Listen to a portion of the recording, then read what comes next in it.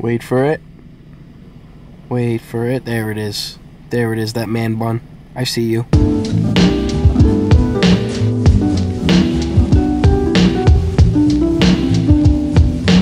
So believe it or not, every morning I wake up completely blind until I put my contacts.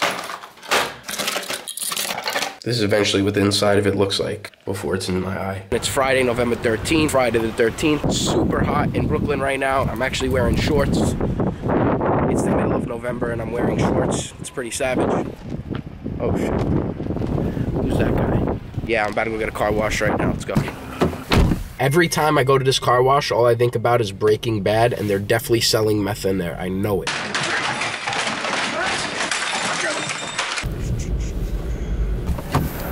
Thank you. I don't care what anybody says. This is definitely a laundering place for like illegal drugs. Every car wash is. I don't care. Thank you. Thank you. Always sign John Cena. Okay. Savage in these shorts.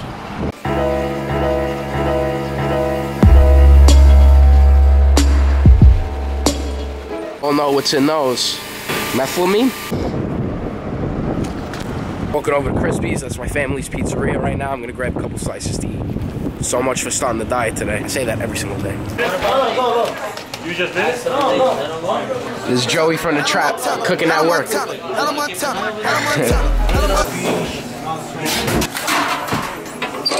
Put that barbecue sauce on everything. And back to the roots. Let me ask you something. You got nothing better to do with your fucking life than to vlog all day. You got nothing going on. Aren't you embarrassed? Yeah, I am embarrassed. I feel like I'm taking it back to the roots in this place. I used to work here every Sunday, and it used to be the most miserable day of my whole entire life. I'm really glad that DJ finally kicked off, so I don't have to come here.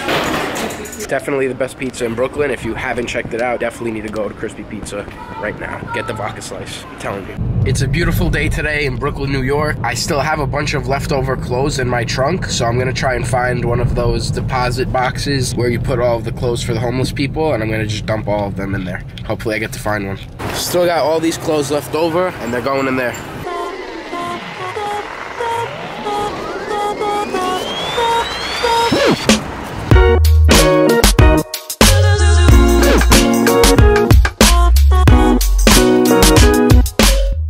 The food she brings in my car right after I get a car wash. She has no chill. Alright, so I'm about to go home, get changed, and shoot over to Cavo in Astoria, Queens. So I'll see you guys on the way there. Yo, check out the size of this drink. This is insane. This is a little bit bigger than my head. I'm currently on my way to Cavo in Astoria, Queens. I'm driving there as we speak. Hopefully tonight is gonna be really dope.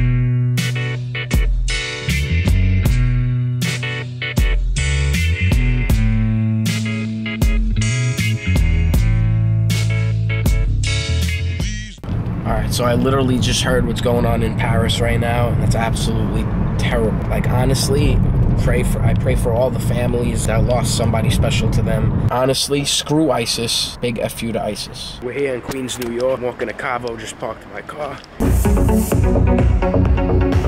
So we just got to Cavo. This is what I call the blowjob set, aka opening set. It's when nobody in the club is there, but you still DJ for two hours.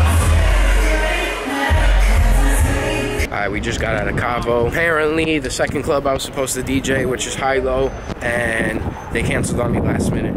Probably because they're gonna have a shitty night. So it looks like I'm heading back home, editing this vlog, and getting my ass to sleep early tonight for a change. Alright, guys. Good night.